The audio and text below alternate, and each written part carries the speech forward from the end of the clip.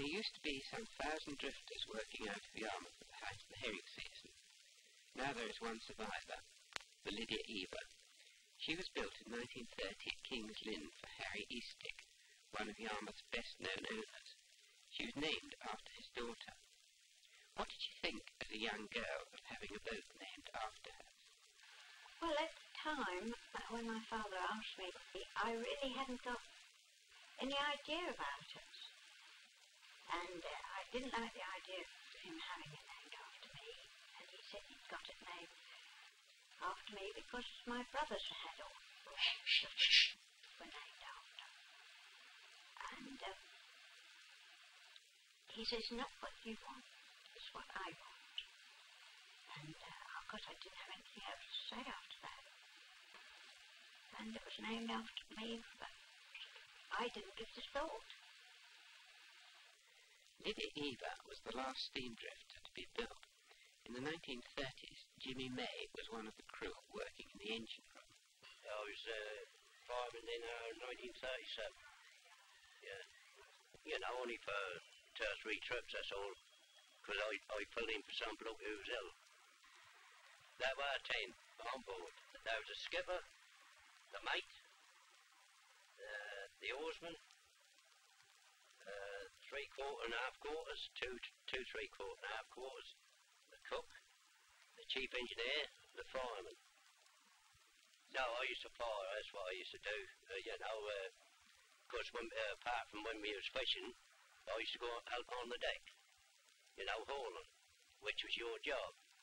The fireman used to take her off to the fishing grounds, and the driver used to bring her in.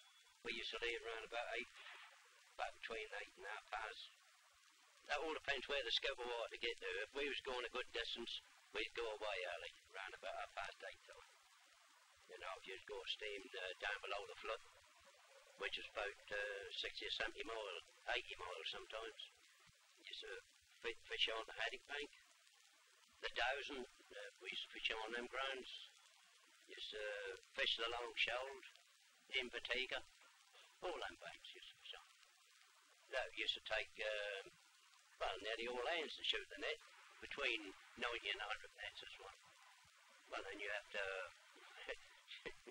you have to wait. Well, that all depends what time the skipper say, well, uh, we'll have a look at 'em, you know, and uh, you just have a look at 'em. If there's a good shimmer, well, of course you'd all, uh, which would take a few hours. You may depend about that.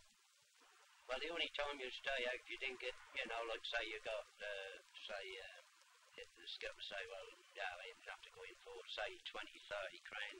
That all depends how the market was. If a good market, practically run in.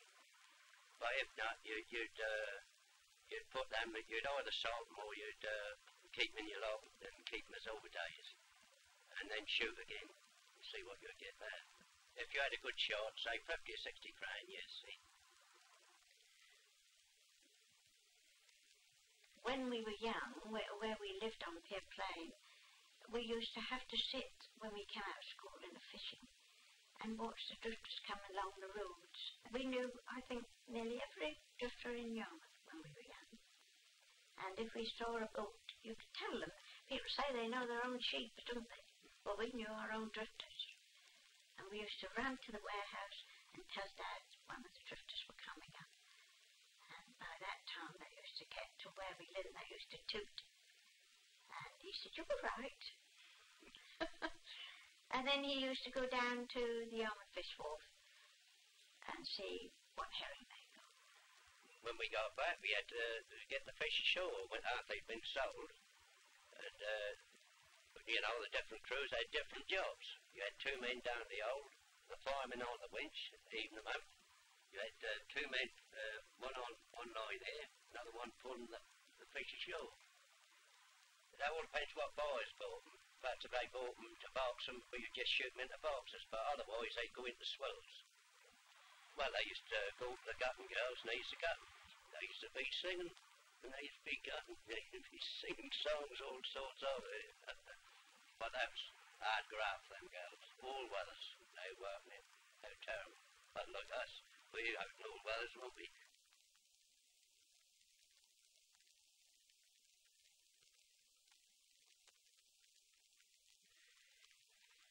Lydia Eva is now preserved by the Lydia Eva Charitable Trust.